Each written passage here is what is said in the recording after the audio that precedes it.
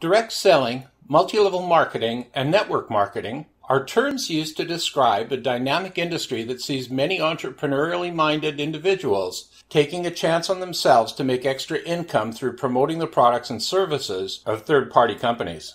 A person often embarks on this venture due to the promise of making ever increasing financial returns as they continue to work the business over several years. They are often brought into the venture through a friend who has signed them up through a person they talked to at a booth in a trade show, or through the product itself, which they have heard about and wanted to try, starting out as a customer first and as a sales affiliate next.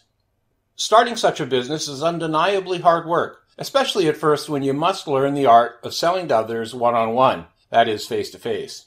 Doing this is a fearsome thing for many, and frequently after buying into something and paying up front for your starter kit of some sort, and after trying to meet your baseline monthly quota so that you meet the requirements of getting paid each month, which by the way often means that when starting out, you're buying significant quantities of the product yourself to meet your monthly baseline required quotas. Does this sound familiar?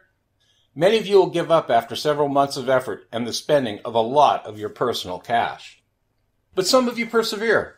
You persevere because you're stubborn and refuse to quit, or the goal is too important to you for your future. MLMs push you to do the face to face selling more so than the online selling because it is face to face where potential buyers can see your passion for the product, which improves your odds of making the sale.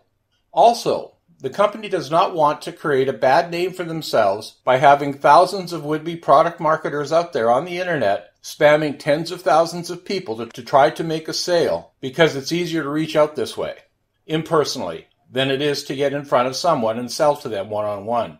So they will regularly put some very strict rules in place about what you can and cannot do online when representing their company. And who can blame them? It is their brand that you are representing out there. This course is designed to help a sales affiliate succeed online within the boundaries set by these types of rules, with which I am very familiar. I have not just been a sales affiliate for several MLMs in my day, I have also been the founder of and owner of a successful payment services platform that many network marketing companies have used to pay their sales affiliates globally.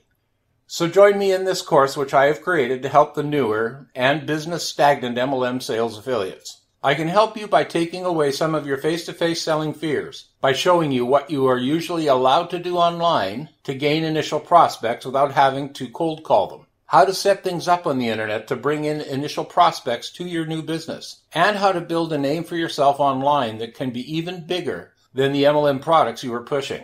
So you are making money from a number of different directions online, directions you had not even anticipated.